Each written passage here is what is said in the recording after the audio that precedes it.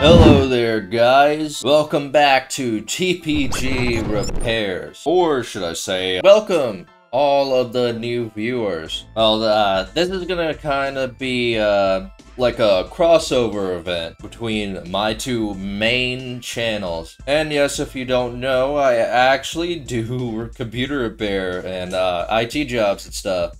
It's actually been pretty rough, uh, over here on this end, uh, as my poor, poor Biggie Bank had to cross the Sahara Desert to find Benjamin Franklin's uh, as of the past few weeks. So that's why you should consider buying your new PCs from the best, which is me, of course, on either eBay or Facebook Marketplace. Until I eventually, uh, cough cough, decide to pay Google the $12 a month for my uh, website.com domain. But anyhow, uh, let's go ahead and get down to business. Our computer today comes from uh, the nice sellers on eBay, Human IT. That on the listing stated that the computer did not power on. Unfortunately, but perhaps fortunately, once I finally got my hands on the thing, it actually was just another case of the screen crack issue. Which of course happens if you were to either A, drop your computer, or B, smash it with a hammer at any point in its lifetime. Dells in particular haven't really given me that much issue. They're usually pretty intuitively designed, or they were designed with repairs in mind for normal people, not arbitrarily restricting it to having to borderline destroy the screen to actually replace the screen. Cough, cough, Apple. Cough, Lenovo. you, you guys need to get it together. Come on. So this process really isn't that complicated.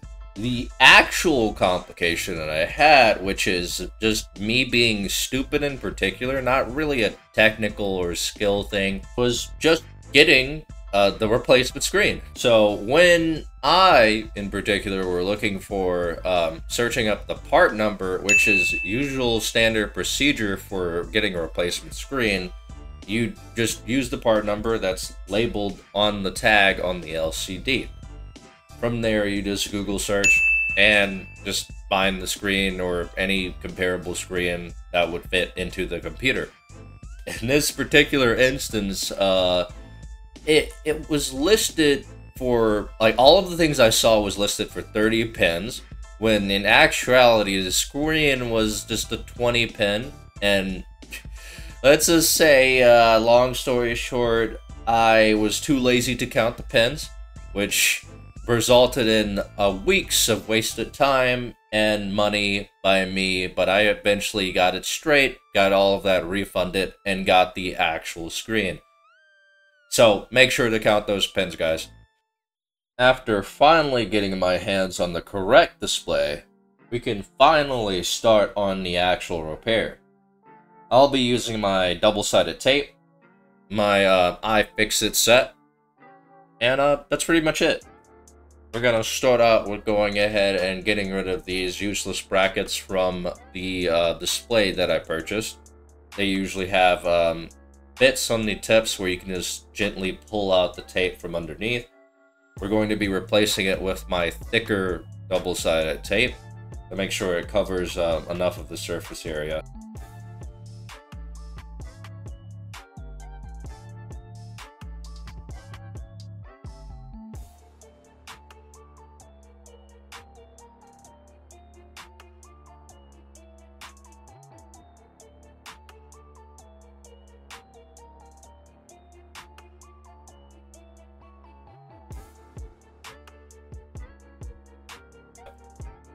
And it's important to leave uh, just like the original set of double-sided tape a bit that has the cover on it just to make it easier to actually take it off in case of the screen cracking again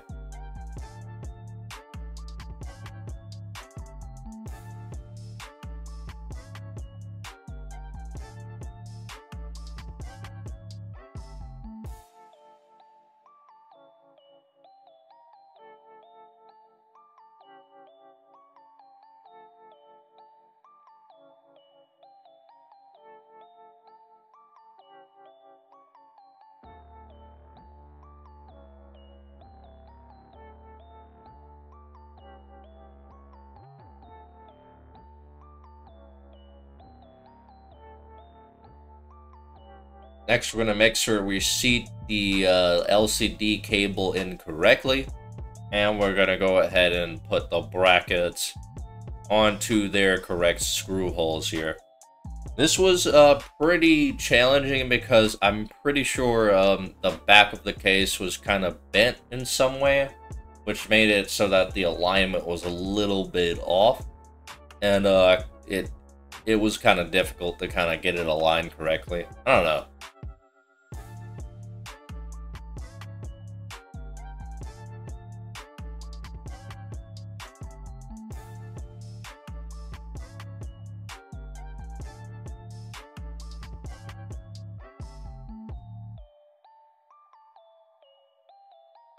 But after we get everything nice and screwed in here, we're going to go ahead and cap it off with the bezel.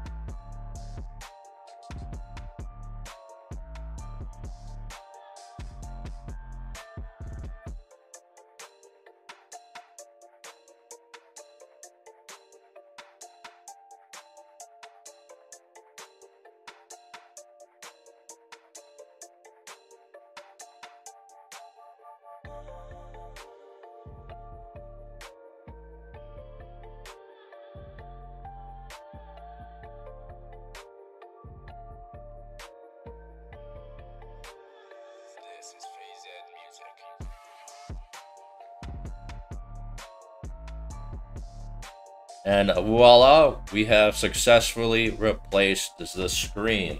After that, I did some um, fiddling around on the uh, um, the internals and found that a RAM did not want to cooperate with me.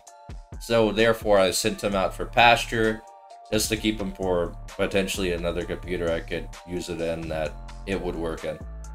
And of course, there's no actual NVMe storage device in there, so I have to go to Best Buy and actually buy it off screen, which was like, uh, I got two because I actually play video games and it's pretty, it was worth it. I spent 70 bucks, okay? I, I spent quite a bit of money on it that I really shouldn't have. But, um, it's, it's good. And here's the end result. We've got our nice boy running for maybe the first time in years, I don't know. I will leave the links to this listing in the description below. So if you're interested in buying her, then you can go ahead. We'd super appreciate it. In the meantime, don't forget to like, comment, and subscribe to the channel and TPG Tech on YouTube, my second channel. And I'll see you around. Peace.